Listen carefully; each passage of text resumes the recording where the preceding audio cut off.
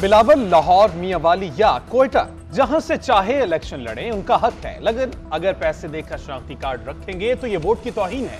अवाम दिल से जो फैसला करें, वो हमें कबूल होगा। सदर मुस्लिम लीग नून शहबाज शरीफ की न्यूज़ कॉन्फ्रेंस कहते हैं 2018 में बदतरीन धांधली और जादू मंत्र के ज़रिए हुकूमत आई। कहा गया, जहाँ करप्शन हो, वो हुक्मरान डाकू होता है। आज ट्रांसपेरेंसी रिपोर्ट का यह कहना है कि पीटीआई दौर में करप्शन बढ़ी। हमने एक साल में करप्शन इंडेक्स 140 से कम करके 133 कर दिया। नवाज़ दौर में बड़ी सरमायाकारी हुई, लेकिन करप्शन को जरब लगी। एक साल इतिहाद हुकूमत का फैसला अवाम ने करना है।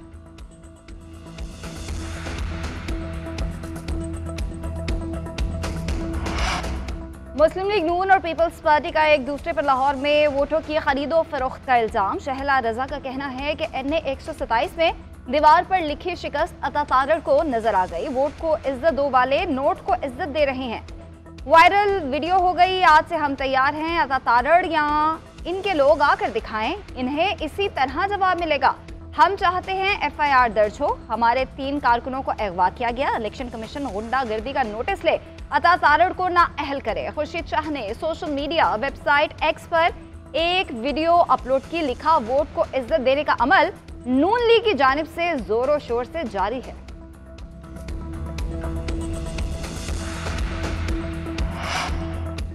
जिनकी ऑन ग्राउंड कोई मुहिम नहीं, वो पैसे लगाकर वोट खरीदना चाहते हैं। बिलावल ने जिद में लाहौर का इंतखाब तो कर लिया, मगर वोट बैंक नहीं है। लोगों से कहा जा रहा था, शनाख्ती कार्ड जमा कराएँ। पीपल्स पार्टी के दफ्तर से नोट गिनने वाली मशीन मिली। इन्होंने 50 से साठ हज़ार वोट खरीदने का प्लान किया है। लेकिन रहनुमा तातारड़ का इल्ज़ाम, कहते हैं बिलावल लाहौर में तीसरे नंबर के उम्मीदवार हैं। ये पंजाब में एंट्री चाहते हैं, इसके लिए वोट खरीद रहे हैं। हमने एक दरख्वास्त दी है जो पीर के लिए मुकर्र हुई है।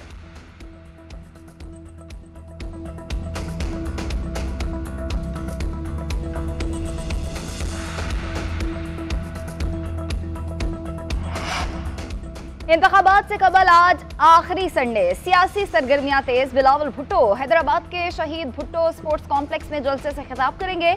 आसफा भुट्टो की पंजाब में एंट्री सादिकाबाद के चांग हाउस में जलसे के लिए पहुँच गई। आसिफ अली जरदारी आज चकवाल का मैदान संभालेंगे। तिलगन गवर्नमेंट स्कूल ग्राउंड में इंतबी जलसे से खिताब करेंगे। नवाज़ शरीफ और मरियम नवाज़ कल के जलसे के लिए मरी रवाना। एम के मीरपुर खास ए एन पी सवाबी और जमात इस्लामी खुशाब में इंतबी मुहिम चलाएगी।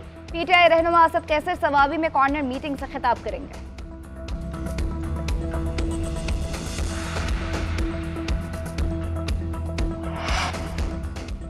आम इंतबात मुकर्रा तारीख पर होंगे। तमाम कयास आराइयों के बावजूद हम इलेक्शन पर कायम हैं। निगरान वज़ीर इतलात मुर्तजा सोलंकी का सेमिनार से खिताब कहते हैं, सत्रह अगस्त 2023 को काबीना ने हल्फ उठाया था।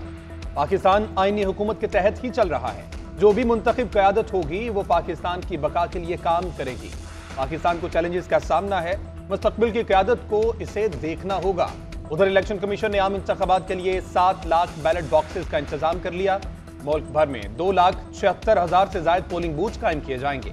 हर पोलिंग बूथ के लिए दो बैलेट बॉक्स फराहम किए जाएँगे। एक डब्बे में कौमी असम्बली और दूसरे में सूबाई असम्बली के लिए वोट कास्ट होंगे।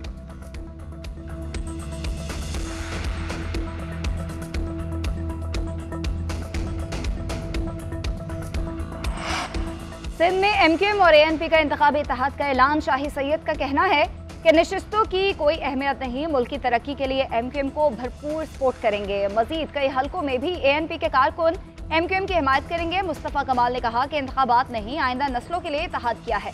हमारे साथ चलने से शहर में अमन और मोहब्बत भी बढ़ेगी। सियासत से बालतर होकर फैसले कर रहे हैं। फसादात के तमाम रास्ते बंद कर दिए हैं।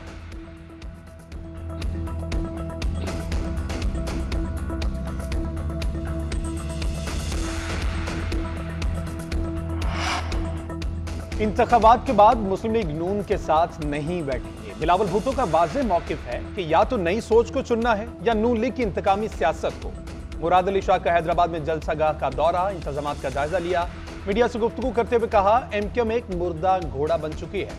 उसे खुराक देकर ज़िंदा करने की कोशिश की जा रही है। कभी कराची में इन्हें भत्ता दिए बगैर जा नहीं सकते थे। आज ये इलेक्शन के लिए भीख मांग रहे हैं। बाकी लोग माजी में फंसे हैं कि मुझे क्यों निकाला? सिंध में 40 से 45 नशिस्तें जीतेंगे। पंजाब में भी अच्छी सीटें निकालेंगे। पाकिस्तान की सबसे बड़ी जमात बनकर सामने आएँगे। सौ से जायद सीटें हमारी होंगी।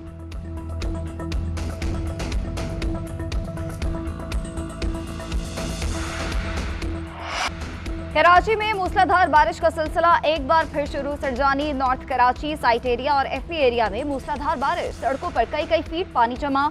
मेयर कराची का अपना दफ्तर भी डूब गया। लाइन्स एरिया में करंट लगने से एक नौजवान जामबहा गुरु मंदिर में बैल्कनी गिरने से दो अपराध जख्मी हुए। एक शख्स की नाले में डूबी लाश मिली नॉर्थ नाजमाबाद और लियाकताबाद में सड़कें धंस गई। गुरु मंदिर के करीब दरख्त सड़क पर गिर गया, बल्दिया टाउन में नाला ओवरफ्लो हो गया।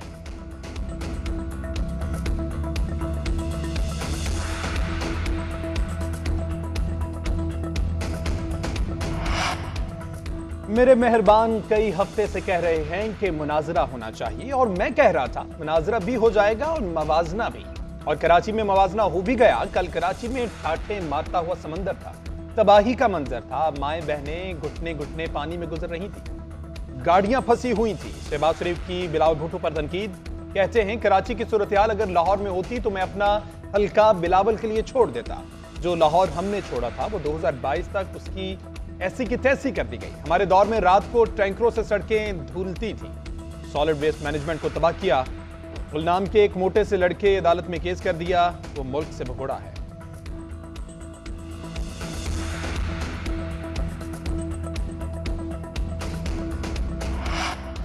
कराची की बारिश बिलावल भुट्टो की इंतबी मुहिम बहा ले गई। अरबों रुपए की इलेक्शन कैंपेन बरसाती पानी में डूब चुकी है अमीर जमात इस्लामी कराची।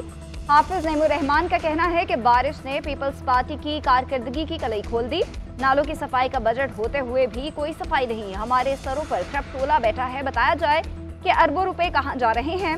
कब्जा मेयर इसी चक्कर में रहते हैं कि कैसे आवाम पर टैक्स लगाएँ। पीपल्स पार्टी आमरीत का मुजाहरा करते हुए तमाम इदारों पर काबिज हो गई। एमकेएम ने भी इस कब्जे में उनका भरपूर साथ दिया है।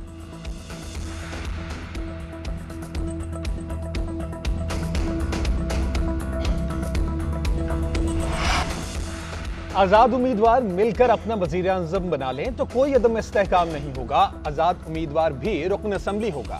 अरकिन असम्बली ने ही वज़ीर अजम मुंतखब करना है। आज़ाद मिलकर कर लें या अक्सरियती पार्टी कर ले। मुस्लिम लीग नून के रहनमा राना सनाउल्ला का पंजाब में सौ सीटें जीतने का दावा। कहते हैं, मरकज और पंजाब में नून लीग की हुकूमत बनेगी। आसिफ जरदारी जितने भी मुतमिन हो, हमें पता है, सिंध से आगे उनका कुछ नहीं। पानी पीटीआई को अदालतों से सजा हुई। उनके पास अपील के फॉर्म मौजूद हैं। उनकी सजा या मुस्तकबिल में रिलीफ से हमें कोई सरोकार नहीं।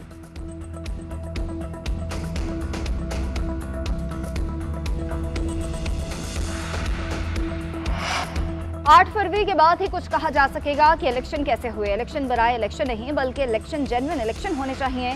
सुप्रीम कोर्ट के जज जस्टिस अतर मिनल्ला का लंदन में फ्यूचर ऑफ़ पाकिस्तान कॉन्फ्रेंस से खिताब, कहा उम्मीद है कि नौजवान मुस्बत तब्दीली लाएँगे। अदालत का इम्तिहान है कि आवाम का एतमाद बहाल रहे।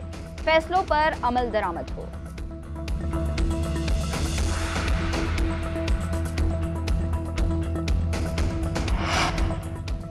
एक साथ मिलकर मुल्क की बेहतरी की कोशिश करना होगी। मीशत को दोबारा पटरी पर चढ़ाना है। मीशत चमकेगी तो ही रोज़गार मिलेगा। चेयरमैन आईपीपी जहांगीर तरीन का वर्कर्स कन्वेंशन से खिताब कहते हैं मौका मिला तो आबाई इलाके की खिदमत करूँगा।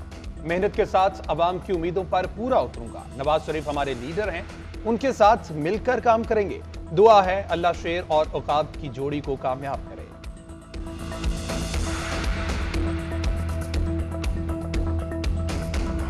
और माजी की मारूफ गुलकारा मलका पुखराज की बरसी, गज़ल और क्लासिकी मौसीकी की मलका ने हफीज जालिंदरी का गीत, अभी तो मैं जवान हूँ।